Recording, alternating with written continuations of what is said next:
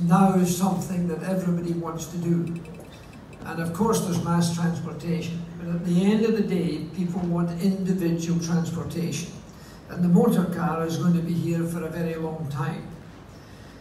The death factor on the roads is alarming. And it's a human problem. It's not a car problem. It's not an engineering problem. It's a human problem. And if we don't do something about that, we're going to see these escalating to unacceptable figures. If that number of people died from any other part of life, it would be a scandal. The door would be closed and a lot of opportunities, but this is not the case. So we are indeed not getting better figures in actual totals because people like living in China, there's more cars, there's more driving permits in China than the combined total of the United States of America and Canada. And there's more driving licenses held in India than the combined total, again, of Canada and America. So therefore, none of them are really all that well educated at all. And as we all know, education is the basis of the future. We don't have as good education as we should have. I lost most of my friends driving racing cars. Uh, Helen and I counted 57 people killed on the track that had been in our home. We had holidayed together, we travelled together, we were close enough to say that many folk during my period as a Grand Prix driver. Terrible. At that time, it was the tracks that were the biggest issue. The cars were fragile, but the tracks were incredibly dangerous. They were running into trees, you were running into brass banks, there was no deformable structures. Today, our racing cars are unbelievably safe. Whether you're doing your cars or whether you're doing Formula One. It's a survival cell in a Formula One car today. The motor car itself is now very safe. The seatbelt factor has come, which was really neglected for a great number of years. I was deeply involved with the British government in getting compulsory wearing of seatbelts. It took a long time. And even today, it's the young people who are putting the seatbelts on. The kids are putting the seatbelts on before the adults, hmm. because we don't need it apparently as adults. Hmm.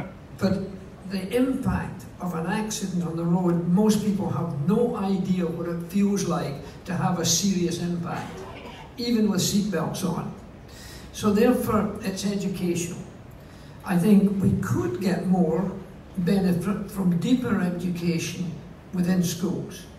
Now, the school management would suggest there's no more room for any more subjects to be brought in. But what's most costly is human life. So in motor racing, I was able to change the motor racing safety just because I happened to be world champion at the time. In 1968, we lost four drivers in four consecutive months on the same weekend. Jim Clark died on the, 5th, the 7th of April. My teammate Mike Spence died on the 6th of May. Ludovico Scarfiotti died on the 7th of June, and Jo Schlesser died on the same weekend in July. And Jo Schlesser's accident at Rouen in France, it was a magnesium car he was driving, it exploded and they couldn't get the fire out.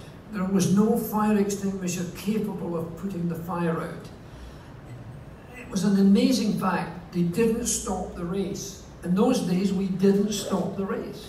When Piers Courage died, we didn't stop the race in a fire. We were driving through the flames. I won the Grand Prix driving through the flames. The track wasn't closed for a short while while they could clear up the wreckage. And there was no medical facilities to speak of either. So there was a lot of change required. What you all are involved in here is getting change made. Now we're well down the road from where we were, but we're still not there. the road accidents are horrendous. 45.5 million active driving records in the United Kingdom in 2014. 785 car occupants killed out of a total of 1 million 770 deaths. This is, we're talking Britain now, in 2013. 222 million licensed drivers in the USA in 2016, 40,000 crashed in cars and died in cars. 40,000 people. And yet we've got seat belts, we've got deformable structures in our cars, but we're still having deaths. Youth is a problem. The enthusiasm of getting a driving license is one of the big things. When I got my driving license at the age of 17 in the UK, it was the biggest day of my life. I had independence.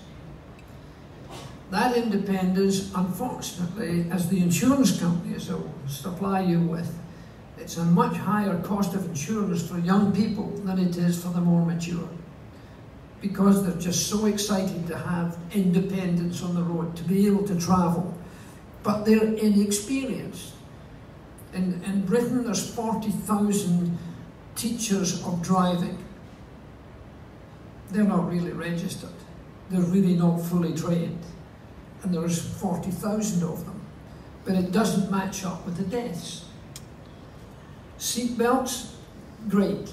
I also was deeply involved in getting compulsory wearing of crash helmets for motorcyclists.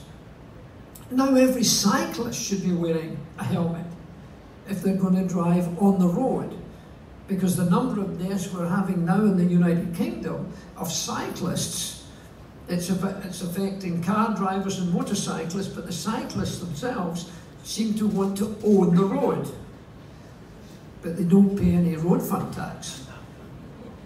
So therefore there's a lot of things we've got to look at. In my case, I was able to do it because I was world champion. And when I won my second world championship, I had a different attitude that were more used to the idea of hearing the issues that we had to have changed. We can't just have big, heavy walls to run into, big trees that were unprotected.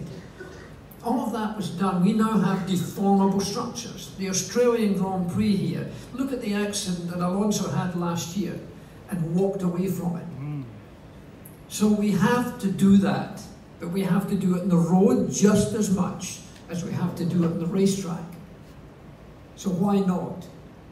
It's a big job, big undertaking, but it has to happen.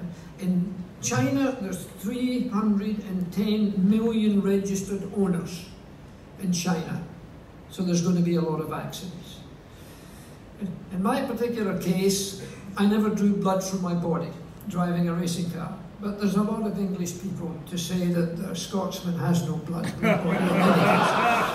but I was very, very lucky.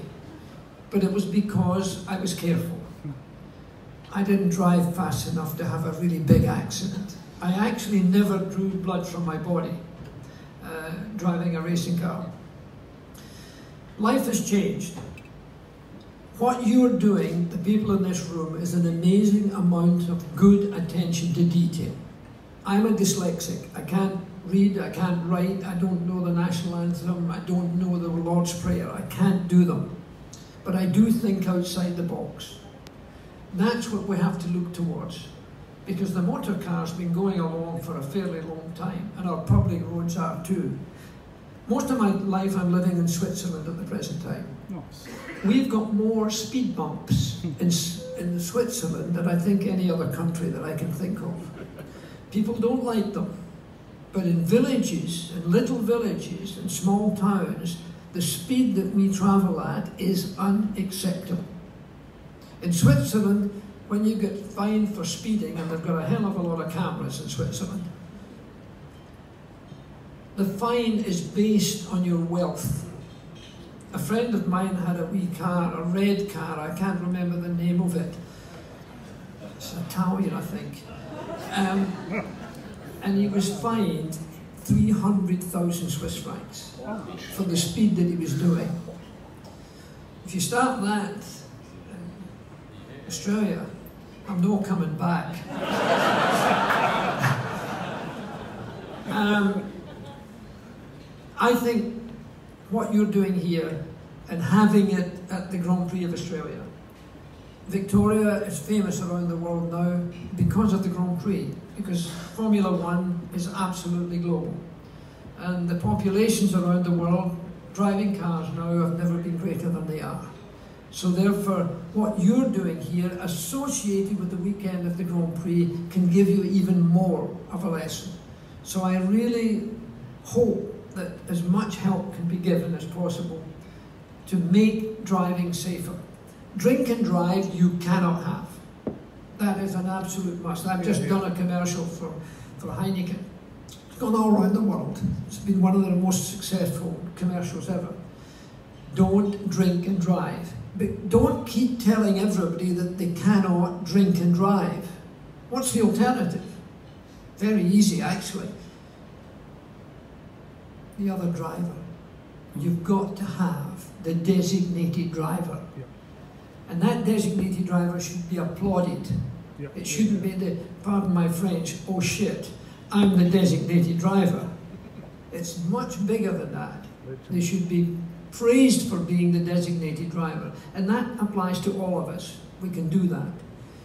And that, I think, is one of the biggest things that Heineken are now doing. And they're doing it alone, but they're doing it with several racing drivers. My life's changed an enormous amount. Helen, my wife of 55 years, has been diagnosed with dementia. There's no cure, there's no preventive medicine. I'm going to give you a little film, I think. Is that correct? We've got that signed up. My son, Paul, likes to play the guitar. He got taught by George Harrison, who used to come to this Grand Prix. And he sings a bit too but he also writes music. So he decided Helen had a birthday the other day, and this is brand new. It's only been seen once before, and it was last night. Um, Paul did it, but Mark, my other son, or our other son, um, makes films. He came down here to launch his Last Man on the Moon, for example, uh, not too long ago. So I'm going to let you see this. It's just because dementia is so important in my life now. I'm seeing a woman who did all my lap charts, all my timekeeping, beautiful woman, suddenly having something that I can't help her with. I've got no cure for it. I'm going to make a cure. It's going to be young people. We've got to go to youth. The established and haven't done it for 30 years with billions being spent. And there is no cure. So therefore I want to change that. So Mark and Paul together made this little DVD. I'll step down and you can see it, and I hope you'll like it. It's, it shows a beautiful woman coming through an amazing life. And uh, I called her this morning at 20 past five, uh, but she will not remember that I called this morning at 25 past five. So it's really a very sad thing, and a whole lot of people in this room will have relations who have sadly had dementia. So my biggest challenge, in my whole damn life now, is to get a cure for dementia. So I hope you enjoy the film.